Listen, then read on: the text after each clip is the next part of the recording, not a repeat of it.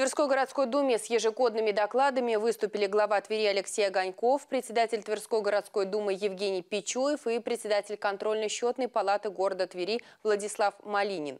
Первые лица исполнительной и представительной власти рассказали о проделанной за год работе на благо столицы Верхневолжья. Об этом в нашем сюжете. В соответствии с уставом Твери, каждую весну глава города представляет отчет о результатах своих работ и администрации в целом за 2023 год. В прошлом году показатели экономики города в части промышленного производства, рынка труда, уровня заработной платы и отрасли торговли продолжали расти. По оценке ВПРФ и интегральному индексу качества городской среды, который готовит Минстрой России, Тверь входит в число муниципалитетов с благоприятной городской средой. И начиная с 2020 года показывает положительную динамику по индексу качества жизни. По некоторым параметрам он превышает средний уровень по России. Также экспертами отмечается положительная динамика в части реализации проектов по благоустройству. Тверь по итогам прошлого года получила 227 баллов, она в числе муниципалитетов с благоприятной городской средой. Что, безусловно, не повод успокаиваться. Впереди предстоит еще многое сделать в части формирования развития комфортной городской среды. Перед нами стоят серьезные государственные задачи. Это достижение максимальной эффективности местного самоуправления, повышение доверия людей к органам власти, вовлечение жителей в реализацию важных проектов и программ, направленных на развитие города. Это задача президента. Отдельно очень серьезное внимание в текущем году он уделял именно роли органов местного самоуправления. И, конечно, в этом направлении многое реализуется на уровне Верхневолжья и города.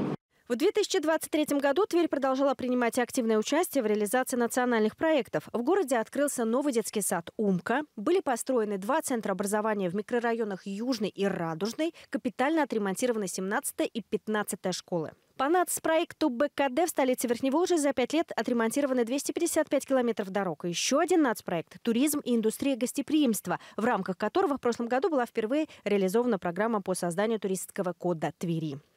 В результате в историческом квартале размещено более 10 арт-объектов и стилизованных элементов городской инфраструктуры.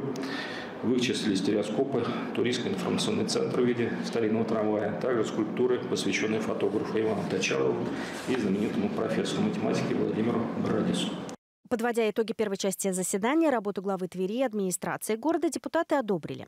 Далее о деятельности городской думы в 2023 году рассказал ее председатель Евгений Пичуев. В его докладе речь шла о работе постоянных комитетов, важных решениях, инициативах депутатов в части благоустройства города, увековечения памяти выдающихся земляков и ряде других. Дополнительные расходы были предусмотрены на ремонт школ и детских садов, повышение качества системы безопасности. Были значительно увеличены расходы по многим статьям. Это ремонт дорог инфраструктурных объектов, модернизация и безопасность учреждений образования, организация питания школьников и содержание новой школы, развитие туризма, обеспечение жильем малоимущих граждан. Также депутаты Тверской городской думы приняли отчет о деятельности контрольно-счетной палаты города. Ее председатель Владислав Малинин озвучил данные о проделанной работе рассказал о контрольных и экспертно-аналитических мероприятиях.